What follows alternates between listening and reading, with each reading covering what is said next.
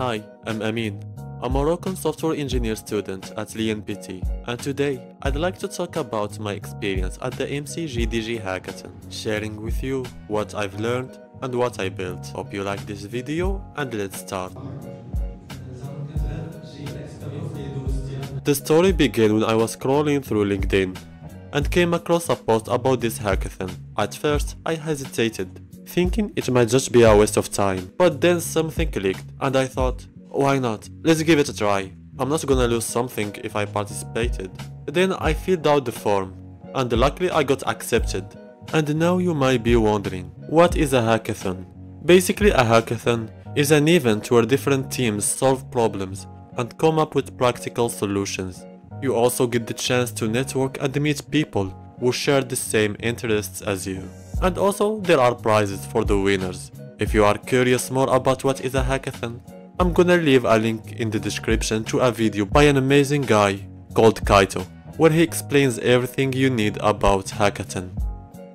When I entered the hackathon, the organizers gave me and my team our badges, notebooks, some pens, and some stickers of GDG. And now you might be asking, what is GDG? That's exactly how our hackathon started, with the organizers explaining what is GDG. GDG or Google Developer Groups is like a tech club usually found in universities. It brings together people who are passionate about technology and gives them the chance to connect, learn and sometimes free access to Google services and certificates.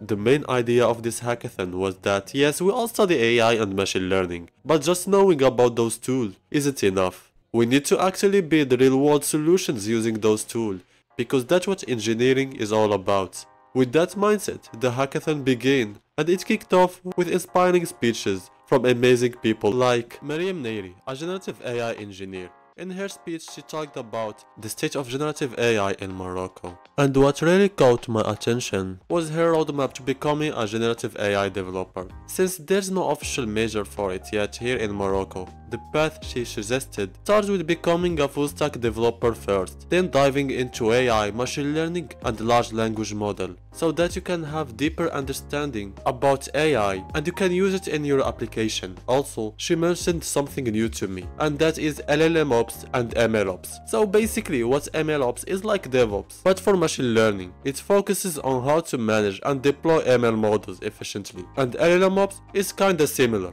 but more specific to large language model, making sure they are scalable, updated and safe in production environments. She also talked about something called prompt engineering. Prompt engineering is basically making an effective inputs or prompts to get the best possible response from AI model like ChatGPT. Instead of coding a solution directly, you are guiding the AI using natural language. So knowing how to ask the right question becomes a real skill in our generation. And what I really liked in her speech is that we can't ignore or deny the rise of AI no more. People often say AI will take away many jobs, and they are right. But what I saw is that it will also create new ones, like MLOps and LLMOps. Those two roles didn't even exist a few years ago. And then with another speech from Murad, a DevOps expert, he gave a powerful talk about why students should participate in hackathons. He said that a hackathon is like building a startup in less than 48 hours. And he's right, you learn a lot and you learn fast.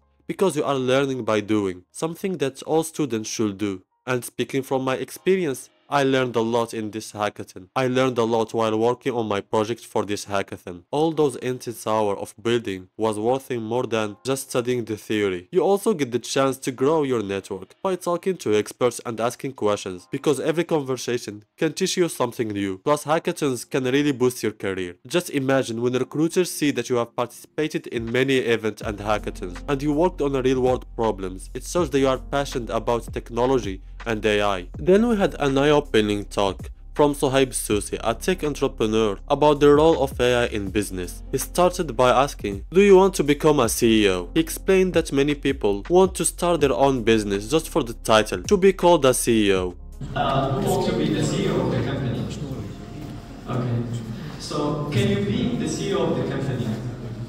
Why? But what really matters is the impact, and that comes not just from building alone, but from collaborating. Because by working together, businesses can grow faster and reach a wider audience. He also emphasized that AI has now become essential in modern businesses, not just a bonus or luxury, or just to say I added an AI to my business, but a core tool for innovation and scalability. There were so many great speakers that I can't mention them all, or else this video would be too long. But one talk that really opened my eyes was by Mohammed Senbouli. He said, we all make projects for our studies, for fun or for other reasons. And that's what exactly I do all the time. But what I always tend to neglect is deploying those projects. And Mohammed pointed out this deploying is actually the most important part and it's a must for a software engineer to learn how to deploy their app because recruiters love seeing candidates who can not only build but also deploy their project effectively. He also shared some great insights on MLOps which was super relevant for the hackathon we were at. Then we took a lunch break, we got back to work and started presenting our project which we called Tariq or road in our dialect Darija. Basically what Tariq is, is a real-time distributed system that uses machine learning to predict traffic congestion level. We aim to create a solution that could help manage traffic more efficiently and give real-time insights into road condition. I'll be sharing more about the process of, of building this project in my YouTube channel, so make sure to subscribe and turn on the notification bell. In the end, we didn't win this hackathon, but if we look deeper, I'd say this hackathon was a valuable opportunity for me, because in this hackathon, I managed to build a real-world solution and to create a prototype of my project. I learned a lot from the speeches, like the state of generative AI, and what MLOps and LLMOps are all about. Plus, we received certificates of participation, and trust me, this won't be my last hackathon. It's just the beginning. Finally, let me know if you enjoy this type of videos and share your own hackathon experience in the comments. And in the end, I'm gonna just say, don't forget to subscribe, hit that like button, and I'll see you in the next video. Slama!